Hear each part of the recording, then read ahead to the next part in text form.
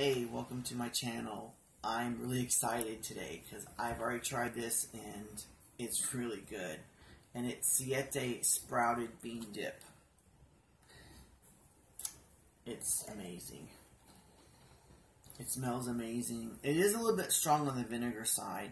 And before I dip into this, let me tell you the ingredients. Um, this place is out of Austin, Texas. And um, it, the product is gluten free, vegan, dairy free, and soy free. And the ingredients in the sprouted bean dip is water, pinto beans, coconut oil, white distilled vinegar, sea salt, green bell pepper, coconut aminos, jalapeno pepper, coconut sugar, that's different, paprika, onion powder, garlic powder, fermented extract, and the fermented extract is oregano, flaxseed, plum. And then the last ingredient, I cannot pronounce it. I don't even want to start. Um, but it's Siete Foods, and uh, this is the packaging what it looks like. And it smells good. It is strong in the vinegar, but I'm eating this cold. I've already warmed it up on vegan nachos, and it's just amazing. But you can see the consistency here. Oh, hopefully.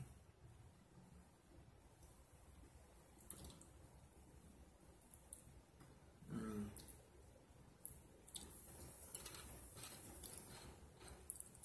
It's good. Like, it's really creamy.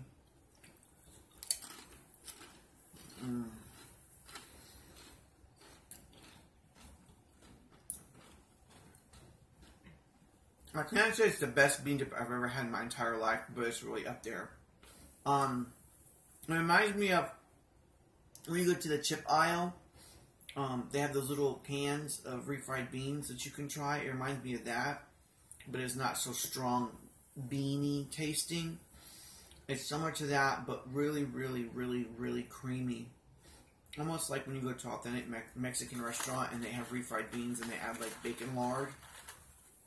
Uh, it's like really creamy. If you ever had whipped refried beans, it's kind of close to that. The vinegar taste is pronounced pretty strong, um, but it just like cream. But the texture is so it's smooth and creamy and rich. It's really rich.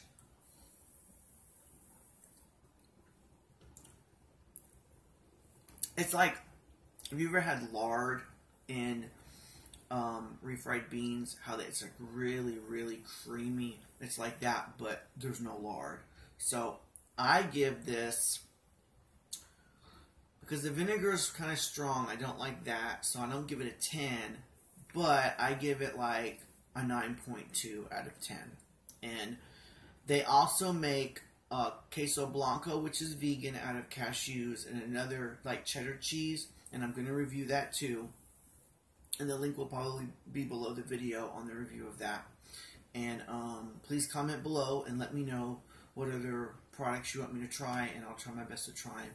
And please subscribe to me so you'll know like of the newest um, videos and products that I'm trying.